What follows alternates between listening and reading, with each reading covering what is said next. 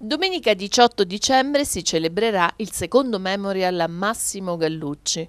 Nel ridotto del Teatro Comunale dell'Aquila dalle 18 in poi si ricorderà il medico, il ricercatore, il maestro, lo scrittore e il musicista Massimo. Con spettacoli tra humor e scienza, l'arte ispira l'arte, a cena con Massimo un buffo buffet e le note degli amici, i sale chiodato che chiuderanno la serata, il ricordo di Massimo Gallucci sarà vivo più che mai. Lo spirito è la totalità del, diciamo, dell'arte che caratterizzava Massimo, che ricordo oltre a essere un medico valente, ricercatore, era anche un artista.